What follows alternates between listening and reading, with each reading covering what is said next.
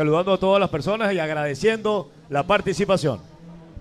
Todos los autos que vienen de ahora en adelante son de la categoría Tracción Integral Nacional. Los R3 también. Ya viene Randini, ya viene Fuchs, ya viene Eduardo Castro Yangali. Raúl Belí también. Entra Jorge Martínez a la parte final de este Super Prime. Tiempo a batir 52-16 de Carlos Castro. Restan ocho carros, ocho carros. ¡Eso, Jorge! ¡Ole! Segunditos perdidos, segunditos.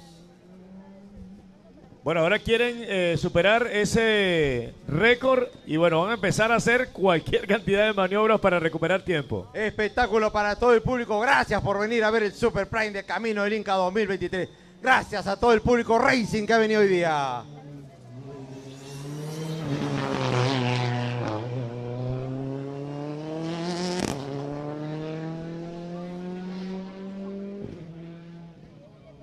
Ahí vamos a ver.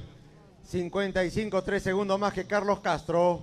3 segundos más para el piloto de Boli Liquimoli y de Fotón, Jorge Martínez, con el copiloto paraguayo Hernán Vargas. Parte final para las 757. Jorge Martínez entra a la zona Toyota Gazoo Racing. Parte final para el Skoda. Jorge Martínez. Tiempo acumulado en breve.